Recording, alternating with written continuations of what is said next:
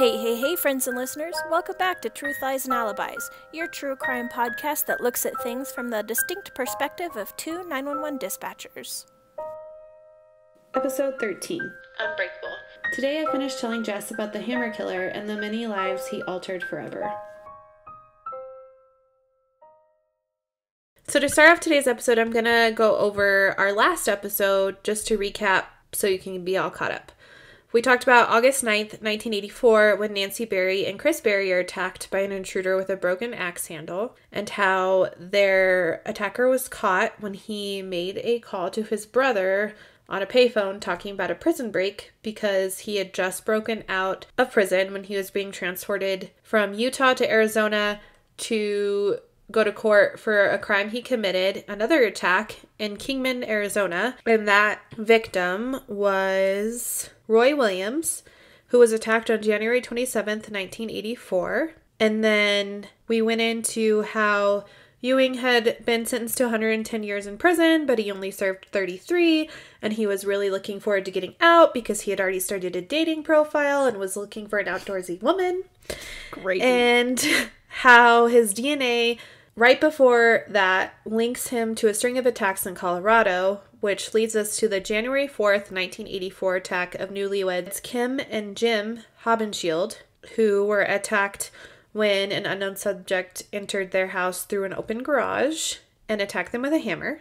And then he fled. And then on January 10th, just six days later, Patricia Smith is attacked while she's eating lunch by a subject who enters through the open garage and attacks her. Then, the same day that Patricia was found, Donna Holm is attacked in Aurora, Colorado, 25 miles away from Patricia. And she's also beaten with a hammer and sexually assaulted and left. And then that led us up to where we talked about how Donna recovered and she went back to work and kind of how all of the people's lives had been affected so far. So, I told you it's only going to get worse, so here we go. We're just going to dive right in. On January 15th, 1984, so if you'll remember, the last attack occurred January 10th, did I say? Yeah, January 10th. So this is five days later. On January 15th, 1984, the Bennett family celebrated Melissa Bennett's upcoming eighth birthday. 27 year old Bruce Bennett, 26 year old Deborah Bennett, 7 year old Melissa, and her 3 year old sister, Vanessa Bennett, as well as Bruce's mother and two brothers, have cake, sing happy birthday, and enjoy time as family. When Bruce's mother and two brothers leave, one of the brothers reminds Bruce that his garage door is open. However, it doesn't appear that Bruce ever closed it.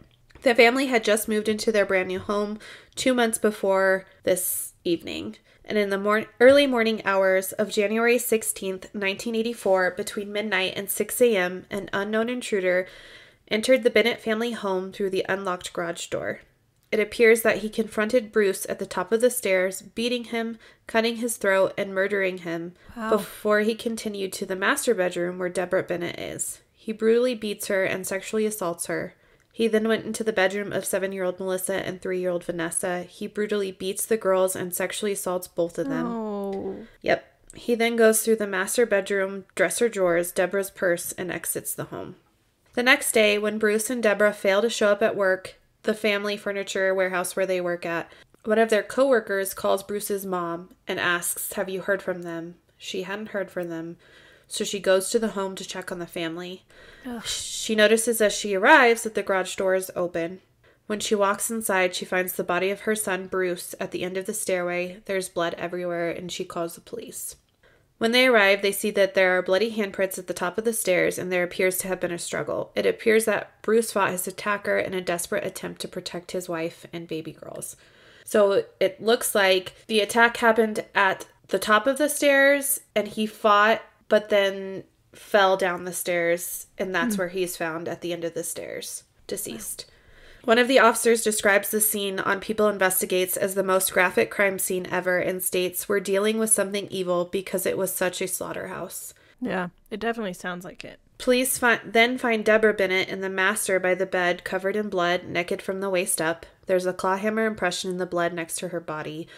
However, from some of the stuff I read, they didn't ever find the hammer.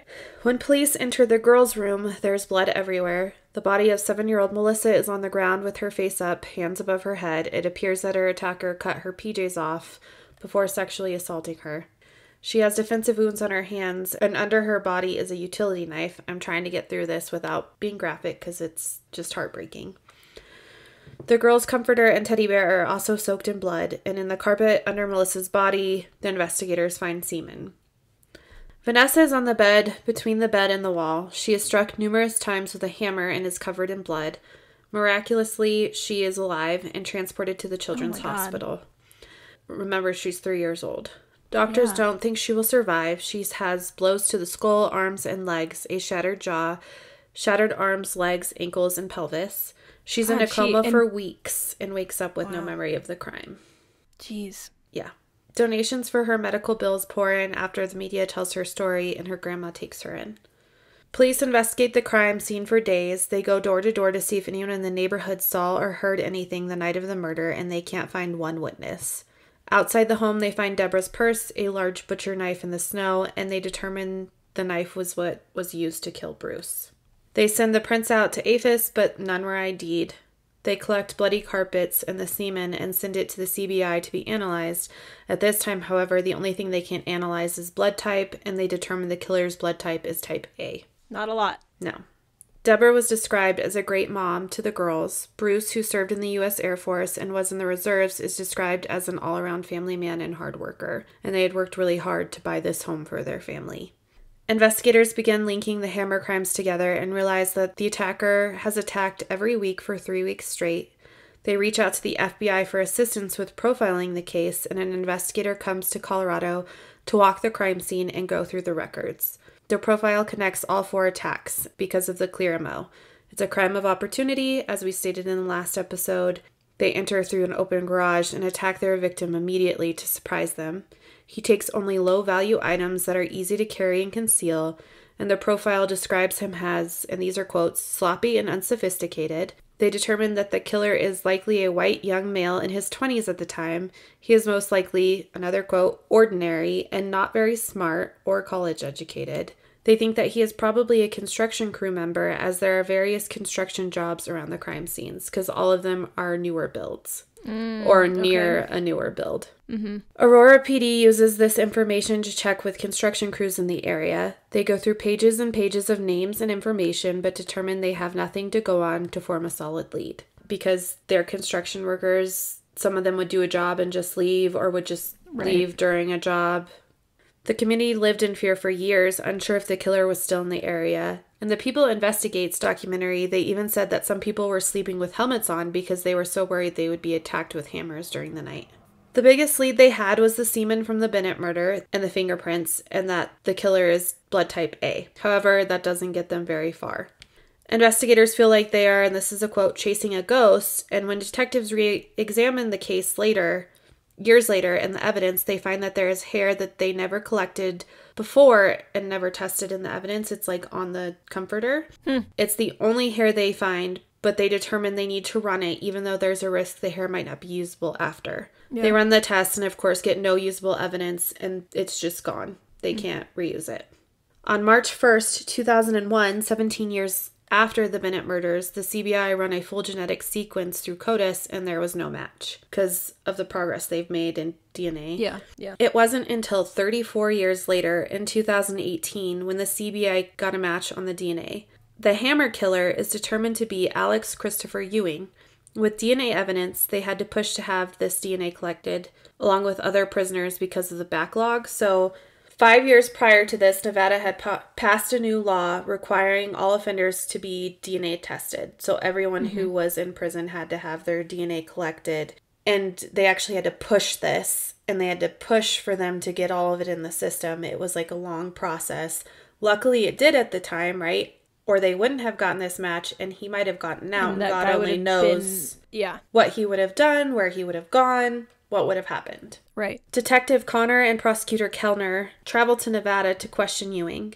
When they walk in and see him for the first time, Prosecutor Kellner sees right through his frail appearance. He said, This is a quote, this guy is pretending to be a frail man. They start the interview slowly, not releasing information on why they are actually there. He tells them about his childhood. He says that his dad was in the Air Force and he dropped out of high school. He had spinal meningitis and said that after that his personality changed. I read some studies on this, and some of them say that like one third of children with meningitis have behavioral issues after or some kind of change in their mental abilities. So I don't think that's an excuse for murder, but it Nope. does happen. Ewing also had a criminal history. He'd been arrested on a charge of burglary in California in 1979. That same year, he was arrested for burglary in Florida and also arrested on charges of grand theft and burglary in Arizona, which I'm like, what the fuck? How is he? Yeah. How In he- one year, how are you getting around and doing so many crimes and not like staying in jail? Yeah. In 1980, he's also arrested for burglary in California again. In 1981, California authorities use a fugitive arrest warrant against him. And in 1982, again, he's charged in California for criminal trespass and burglary. So he has a pretty extensive history. He tells them that he was in Colorado for some time, and they quickly determine that he was there for about a year around the time of the attacks, and that he worked as a construction worker. And as you'll remember, the FBI profiler had determined that the killer was possibly a construction worker as the attacks happened in areas of new construction. Can I just pause and say, like, so profiling specifically is what, once I spent some years in college trying to figure out what direction I wanted to go into, it's one of the reasons I went into psychology. Profiling specifically is why I went into psychology because it's fascinating, right? That, and, and not all profiling is accurate. And I'm not talking about racial profiling or gender profiling or anything like that, but specifically coming down to the fact that uh, like has a lower education, works for construction because of it, like going off of evidence as well as pulling like what common threads point to as far as behavior. And that to me has always been super fascinating. That's why I loved watching like Criminal Minds and stuff. I fell off eventually. There's too many episodes of it now, but but I mean, it was why I decided to go into psychology was for criminal profiling because that's so fascinating to me that they can look at specifically look at a group of crime that they believe is committed by a single person and be able to determine based off of human behavior narrow it down to like It's this person does this, this, and this. yeah Yeah. they're high school educated. They probably do hands-on jobs. They're a loner, or they're awkward, or They live with their on the- mom. or vice versa. like it's not always that, right? That they're very charming and mm-hmm. they make friends well. Everybody says they're that they're the life of the party. Like they're able to They're very determine that smart. stuff too. Yeah. Yeah, and that's always always been so fascinating to me. It's fascinating, especially when it turns out to be right. Like, Yeah, you're like, how did you know that? like, how did you get there? Yeah. Yeah. I agree. That's why I like Criminal Minds too. But also, like you, I have not seen every episode. and So- um, what was that show that only got like two seasons? Mindhunter. I oh think? yeah, Mindhunter was Yeah. a good one About too, the- and it was the based two on the guys true that- story. Yeah, the two guys that in, initiated the behavioral analysis unit. Yes, that one was a good one too. So when they finally tell him why they're there, he gets really angry and closes down. They collect another DNA sample to rerun and determine that he is in fact the hammer killer. On August 7, 2018, police called the victims to tell them that they had finally found the killer. Wow. At this time, Vanessa lived under a bridge in Tucson, Arizona, when a reporter called to tell her that the killer was ID'd. Vanessa had struggled her entire life with heroin and other drugs to numb her pain. She was homeless and had survivor's guilt and had attempted suicide because of severe depression. On August 9th, 2018, an arrest warrant was issued for Alex Ewing for the Bennett murders. They decide to try him for the murder of Patricia Smith after the Bennett trial has ended, and Alex Ewing fights extradition for almost two years, all the way up to the U.S. Supreme Court, but the state of Colorado wins and Ewing is extradited to Colorado. DA Kellner told People Investigates that almost everything about a cold case is harder than a regular case, and states that the first challenge they had to overcome was the statute of limitations on the assaults against Jim, Kim, and Donna. They would not be able to get justice for any of those crimes. Um, in one of the articles I read, they suggested that Donna pushed to be a victim of kidnapping because she was kind of like held there against her will, I think. But her husband was like, no, I don't want to put her through that. Like, it's not worth it to put her through that. They would not be able to get justice for the sexual assaults, Wow. even against the Bennetts, because the statute of limitations, which I'm like, What the fuck? Why is that a thing? crazy to me. Yeah. It should not even be Just stay hidden for long enough. Yeah, it's insane. And it's just because it's been so long, somebody doesn't get justice for what happened to them. Especially when the technology wasn't there, right? Yeah, it's just kind of sickening. I feel angered by it. I also feel angered by it. I feel so much anger. So, so much anger.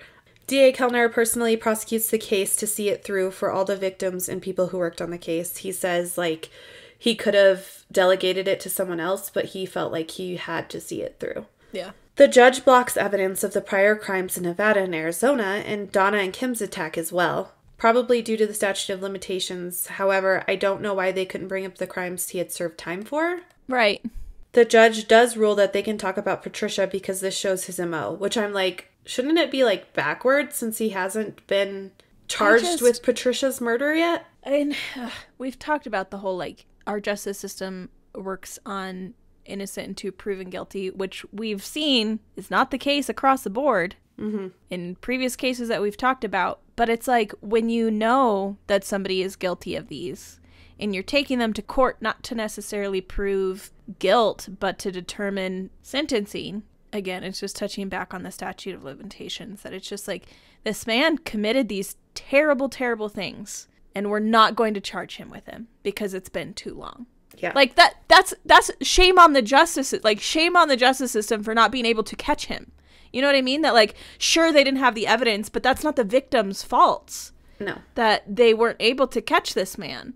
Who cares? He obviously didn't change. He went on to commit crimes that were violent and the same MO. It's it's obviously relevant to why he's in court. Yeah. And then to say, because we couldn't catch him in time, you Right. cannot use that, Yes. even though we know for a fact that it was him. Yeah.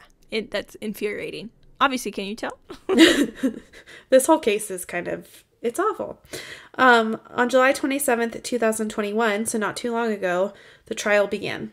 Detective Brandt testifies and Ewing just stares him down. He says he looked evil. He says he didn't have any kind of emotion the whole time. I wouldn't imagine he would. Yeah. No. Ewing's attorney argues DNA from 1984 was mishandled and tampered with, which I'm like, how did they know how to mishandle and tamper with it? Like, they didn't even know the power The of they've DNA. got to argue on, right? Like They try to confuse the jury with this and argue the hair can't be used that could determine it wasn't Ewing because that was mishandled, because they tried to test the hair. DA Kellner argues that DNA evidence could conclusively determine that the defendant was the murderer. Ewing denies ever being in the house, which is good for the DA because he fires back with, then how did the evidence get there? Yep. How was your semen in the house? There is a week of testimony and deliberations last an entire day when the jury tells the judge they are at an impasse. He insists that they go back, rest, and return the next day to continue deliberations. The next day at midday, they come back with a verdict and they rule that he is guilty. thank goodness. Yeah. Jeez. Vanessa gets to read a victim's impact statement and says, I didn't just lose my sister and parents, I lost my trust in people. I lost my dignity and pride. I lost the person who I was supposed to be. I lost my sanity. She says she always felt that oh, the void of having no one there to support her or that she could talk to. Even though her grandmother took her in after the crime, they didn't really talk about it. Probably because it was too hard to talk about. Yeah. Right. Kellner told People Investigates, I'll never forget seeing Vanessa, who was scarred as a three year old, lying in her little bed covered in blood with a teddy bear laying in bed next to her. She survived that onslaught, and to see her get up at sentencing and really look evil in the eye and have her final piece, it's why I do this job.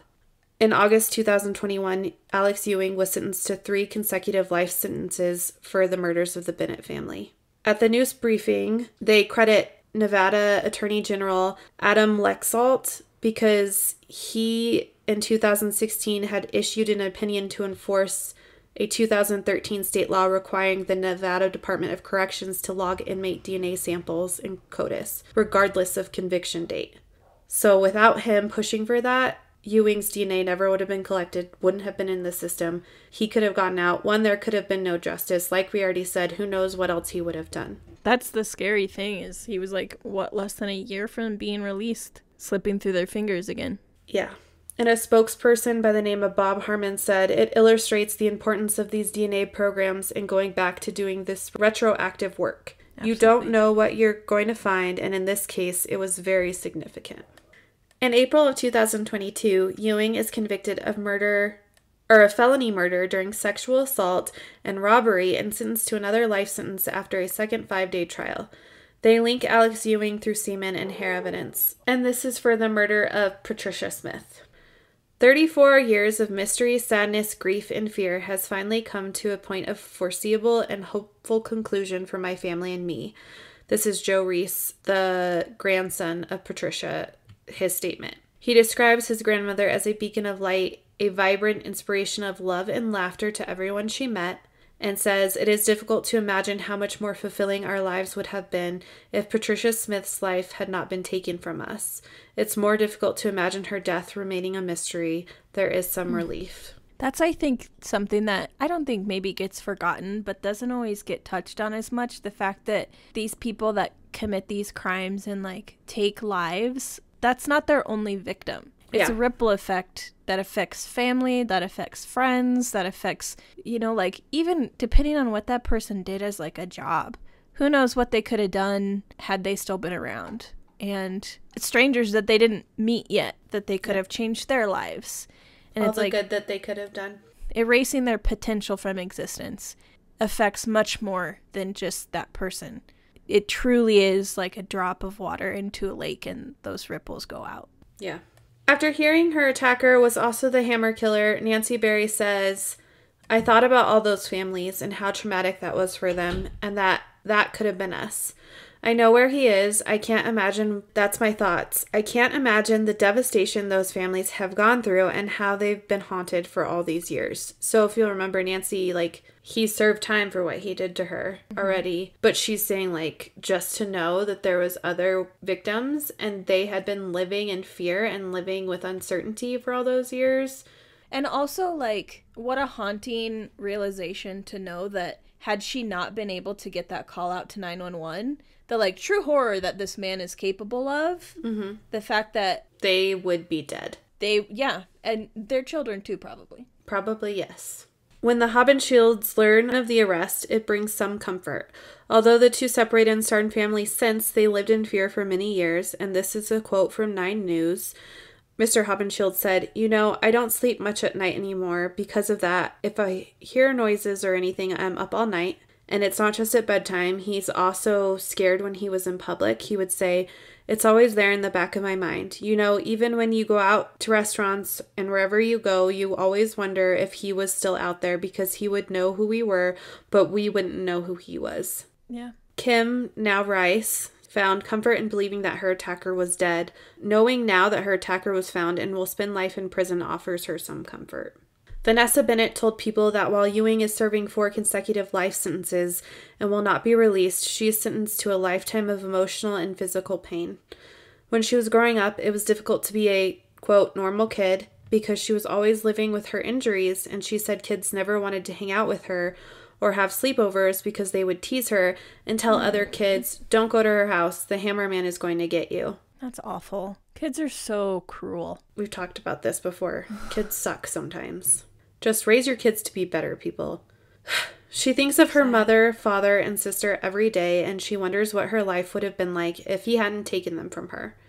With the killer being found and prosecuted, Vanessa feels like she is finally able to start healing. She told people in the past few years she is finally getting clean and has moved into an apartment with her third husband, Frankie, and their cat. She said, I've had bumps along the way, but I have big dreams. And these big dreams she mentioned are dreams of a house with a yard, a college degree, which she's working on, and she hmm, wants to be a drug counselor. She feels a responsibility to others who are struggling and shares her story. And this is a quote My strength is all I have to share. I tell my story to lift people up. I am unbreakable. I am a survivor. Oh, I got chills. Whew. Ewing didn't address the court or release any statements. His legal team plans to appeal his convictions. Good luck. Mm-hmm. And that is the story of the Hammer Killer. And like you said, I thought it was important to kind of add the little bits that I could find about the victims later, the victims mm-hmm. who survived, the survivors, because mm-hmm. I don't think mm-hmm. that people really stop to think about. Like, yeah, true crime is fascinating because you, like you said, you're like thinking about why people are the way they are, or thinking about how profiling can lead to an arrest, or how amazing DNA evidence is Right. But it's also terrifying in the fact that, like he said, they would go out in public and they would be like, Is my attacker Could here? be anybody. Yeah. he knows who I am, but I don't know who he is because, like many times we've discussed before, the unknown is scarier than knowing, right? Yeah. And then just to have to live with that. Not only Yeah. the physical wounds, the physical stuff that they have to go through, but the mental, the emotional. Vanessa was three years old, doesn't remember her attack, but her But it stuck with physical, her. yeah, her physical impairments, the way people treated her, which is Mm-hmm. that's just not okay Yeah. but also like her drug use because she needed comfort how she thinks about all the things she lost how she wasn't allowed to talk about what happened to her really the survivor's guilt. Yeah. Mm-hmm. that's just like heartbreaking and growing up knowing like my family died i'm here i never get to know them Yeah. and like she said he stole the life that she was supposed to have Yeah. A completely different timeline of what that future looked like for her. yeah so i thought it was important to mention that because i don't think people really stop to think about how many lives are affected like you said from one person one person's actions can ruin so many people's lives Yeah. it's heartbreaking and it's disgusting because fuck him And I think that's one of the things that we do well, or we try to at least. We can always improve. There's always room for improvements. But I think it's one of the things we try to do well here where we give a moment and we give the light to the victim because a lot, I think a lot of true crime focuses on.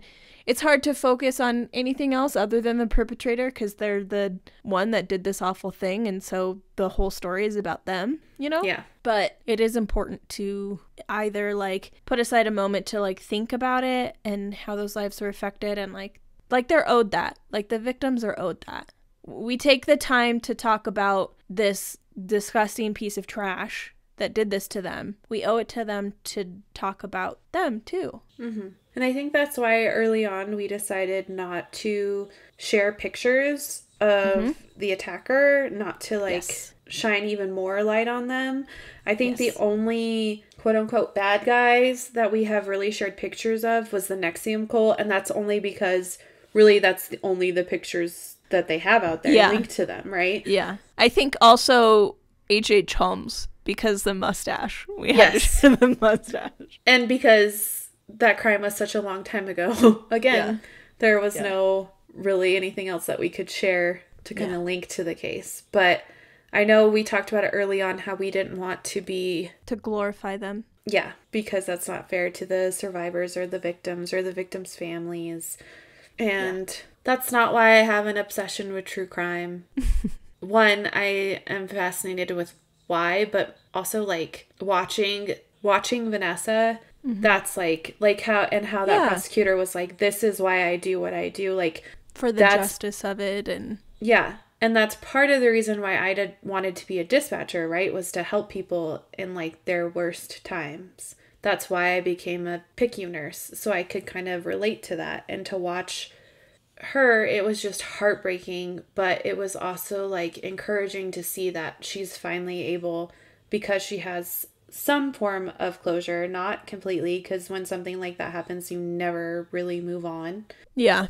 But because she finally found the attacker she felt like oh i can finally start my healing process. Right. You know? And to see her get those wins after just going through so much for so long mm-hmm. to finally and again like even for the couple kim and jim or kim and tim i just remember that their names rhymed yeah kim and jim Haubenschild. jim okay so like even for that couple even that weight to come off their shoulders that this man that did this is f- finally put away and you know kim had convinced herself she did what she needed to, to do to move on and be like oh well he's probably dead you know? If you're in that place whatever gets you through the day absolutely. But to finally get official word that like yeah he's going away and he's never getting out. Mm-hmm. there's no 110 years this time and getting out in 30 there's no parole. Yeah. Yeah. The fact that like how that first breath after that must have felt mm-hmm. to be able to like maybe for the first time in a long time be able to take the deepest breath and just exhale all that tension out. I can't imagine another thing that i thought about was like i have taken calls where people were being attacked but not obviously not anyone who was being hit with a hammer. Right. Just like thinking about all the calls that you take, I guess, too. Like, just like the other day, I took a DV call and I could hear the mom being beat. And like, mm. for some reason, that I think I told you that call stuck with me and it just made me cry. But there are calls that stick with you forever. And I'm sure that call was one that stuck with Oh, that yeah. dispatcher forever. Yeah, And- and, how that looked different back then, right? How Mm-hmm. precise you have to be and how much more information you had to get back in the 80s because we couldn't rely on technology back then. That she had to give an address. yeah, massive She- props go to Nancy and that dispatcher for being able to communicate well in that time of heightened while she's actively and- being beat with a hammer. yeah, it's in- it's incredible. We are pretty lucky that nowadays we have, at least when it works, which is more times than not usually Right. now, Yeah. but that we have the ability to find somebody, even if they're not in a position where they can be like, I am here. This is what's happening. I need this right now. Yeah. It's crazy. I'm glad they found him. It's also just crazy to think about how long it took. And it literally, his trial like just happened Yeah, that's crazy. like two years ago. I had never i gonna- heard of this story. I was about to say I hadn't heard anything about it, but when do I? like we always say, I tell Jessica about the crimes she knows nothing about. I don't know anything about them. Before I read this article, though, I knew nothing about this. And then I was like, I have to know everything. So then I watched the documentary, and then I watched the YouTube videos, and then I went down a rabbit hole with all of the research, and I was like, holy crap, how did I not know about this story? Well, and thank goodness for the people that do push those local legislative laws that, like, no, we need to get everybody in the system for DNA and Dakotas and stuff like that because there are countless cold cases that will never get solved. Yep. But if there's a 5% chance that that guy that that perpetrator is still in jail and they can catch his DNA, run it through the system and it pings to a, a cold case, mm-hmm. Phenomenal. Yeah, and hopefully, with all the changes like that, there will be far less cold cases in the future with not only collecting DNA in prison, but the familial DNA that they can use now. Yeah. Hopefully, it'll help. Like I said, DNA is just kind of this amazing thing, and thank God that we've made so much progress and can tell more than a blood type. Science. And thank God people actually hung on to stuff Right? and didn't just Yeah. like get rid of it. Be like, well, we can't do anything with this, so Yeah, this is useless to us. yeah. But sorry for the bummer, Jess. Thank you. This one was definitely more of a bummer than all the other ones that you've called bummers. This well, one's anything definitely with children is that much harder. I feel like for me. Yeah. Like it takes somebody truly disgusting to commit any of these crimes, right? But it takes somebody truly disgusting to sexually assault a child. Yeah. And the fact that he sexually assaulted all three of them Yeah. and then just left them for dead. And that's the I was going to comment on earlier is the fact that we've talked too about how people like this escalate. And mm-hmm. who knows what those next crimes would have looked like if he hadn't messed up Yeah, because he was already getting the worst of the worst. Right, to go from bludgeoning to, in that circumstance, to kill the man by cutting his throat with a knife. And in such a short amount of time, too. Yeah. And literally, he started with burglary. And also, like, it makes me wonder, too, like, did he start before this? Did he start Right. in California? Did he start in Florida? Did people look into any kind of unsolved crimes there that maybe they didn't have DNA for because they didn't really know DNA was a thing? Because it just Right. seems like such a huge jump from burglary to beating someone to death with a hammer Yeah. or unsolved rapes or you know what I mean? There's probably stuff maybe they should look into. Maybe they will. I don't know, but it just seems like a really far leap from just burglary to Right. raping and killing Right. people. But maybe it just escalated over time and maybe something happened around them and he was just like, "Yep, this isn't doing it for me anymore. This is what I'm going to do." And maybe he did it the first time and he was like, "I actually really like this, so I'm just Right. going to keep doing it." Yeah. But I'm thrilled to hear about Vanessa finally able to be comfortable enough and secure enough to like get her life like back on track. Yeah. To be able to take control of her life back. I just hope she gets all the things she wants out of life. We're rooting for you, Vanessa. Good luck.